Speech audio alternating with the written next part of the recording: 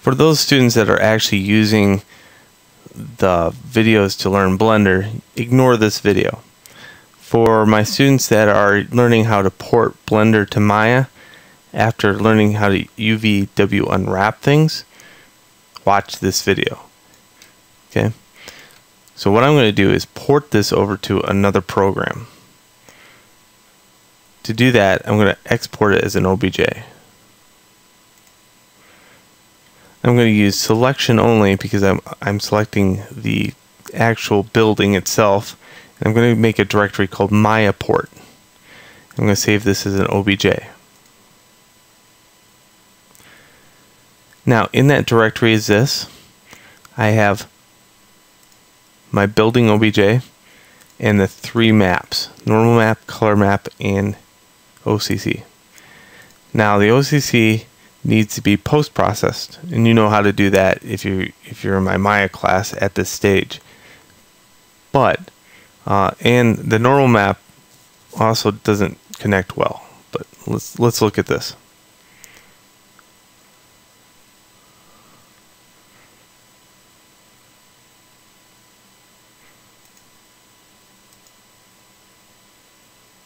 Import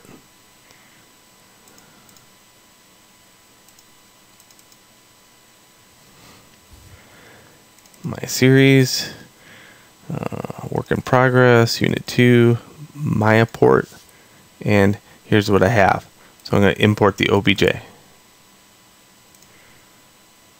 I'll hit 6 on the keyboard, and you'll see this. Window, Rendering Editors, Hypershade. Okay, now because it's an OBJ, uh, sometimes the textures actually come in. Most of the time they do not. But all you do here is you go like this.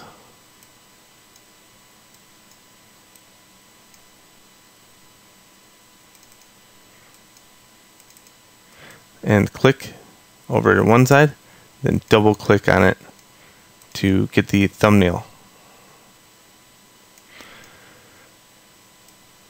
Okay, porting over to this program, you just need a Lambert in Hypershade. Middle mouse button, click and drag this to color. Middle mouse button, click and drag this one to normal map, which is a bump map. And this is a special kind of bump map. If I wheel out with the mouse, I can click here and choose tangent space normals. And to apply this whole huge hot mess to the mesh itself, I can go back to materials, middle mouse button, click and drag the Lambert over to the building. And there we go. That's how I poured it over.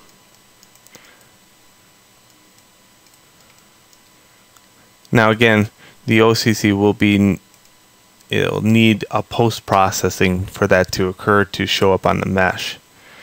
You know what? I'm going to take care of that right now as far as post processing goes. I'll cover it later in Blender, but if you're watching this video, you're probably already just curious anyway, so I'll kill it with two birds with one stone. So post processing is this, this, it sounds so much more, right? Post processing, what's that? Here's my color map, and here's my OCC. So if I hold control, I can open up both.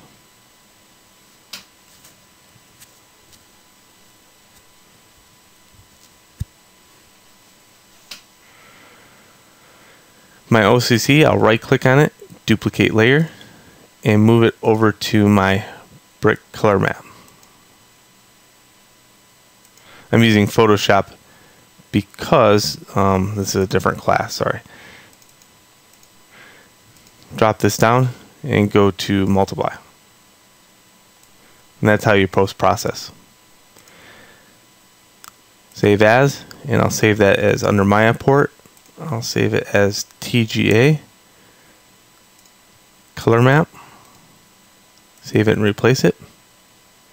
I want 24 bits, not 32.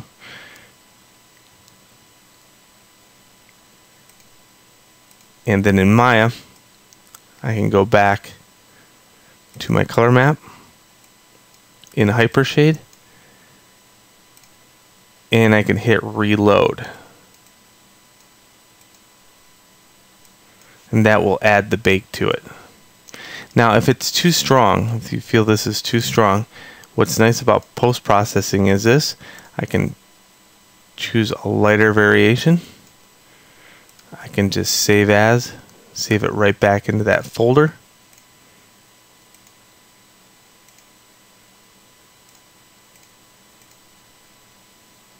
24 bit, then go back to Maya and hit reload. There we go. So that is post processing. And it saves you a map. You don't have to now worry about that map at all. Here's what high quality rendering looks like. And you can see the bricks are standing out quite nicely. Alright, so that is porting over to Maya from Blender. Again, if you're watching this and you're super confused as a Blender student, don't worry about it. Uh, close out the video and just hum to yourself and say, I did not watch this video. Enjoy.